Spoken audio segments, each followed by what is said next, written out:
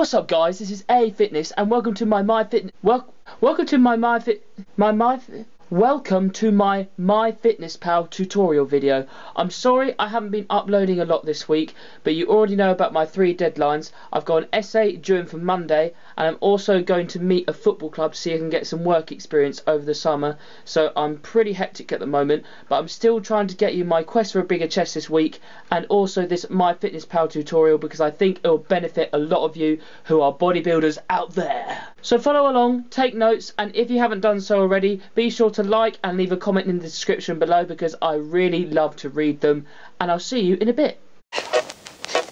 So for those who are thinking of starting diets where you count your macros, or a diet like if it fits your macros or flexible dieting, you are definitely watching the right video.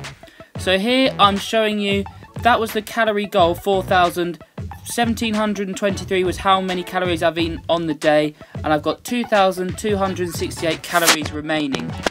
And here the layout is you have breakfast lunch dinner and snacks where you can input food.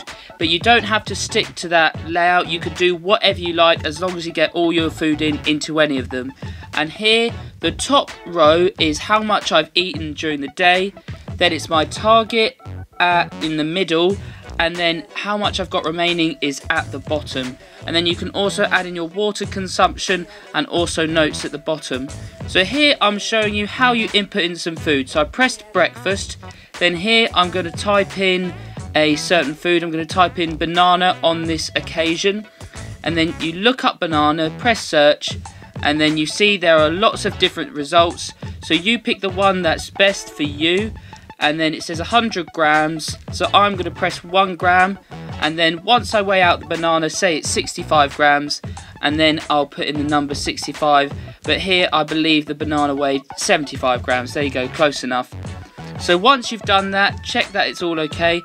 I will stress that sometimes people input foods wrong because this all this data this database is from people inputting the food. So sometimes you should check the nutrition label and not just rely on MyFitnessPal because sometimes MyFitnessPal isn't accurate but on the most part it is.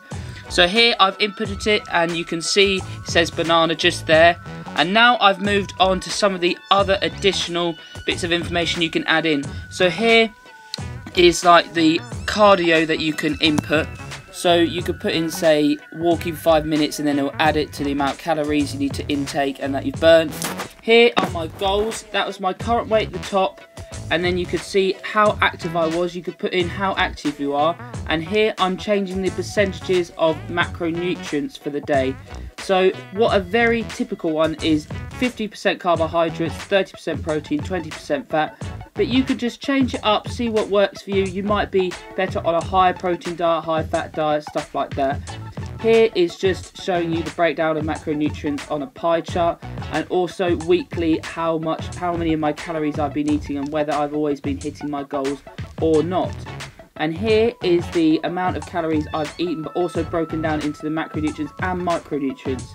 So you saw all the vitamins I'd eaten there, and also the saturated fat that was broken down, and polysaccharides and stuff like that. And here you can add devices and connect it to your MyFitnessPal. And here you can also pick recipes that are going to help you towards your fitness goals and say under 400 calories there. And so this was basically a whistle stop tour of MyFitnessPal for those who haven't used it before. Please be sure to leave a comment and a like down below and let me know if it was helpful for you and if you have any other questions be sure to ask me and don't hesitate. So I hope you enjoyed the video guys. And again I'd like to apologise for the amount I've uploaded this week. And I will improve that in the future once all my deadlines are over. Because I still have exams but they're more in April May time. And I just want to say thank you to you guys who subscribe to my channel and who watch and like my videos. Because you're getting me that one step closer to eventually being a body power representing somebody like Gymshark or Machine Fitness, something like that. So thank you so much. Be sure to like, comment, share, subscribe. Have a good day, guys. And I'll see you in the next video. And keep making gains.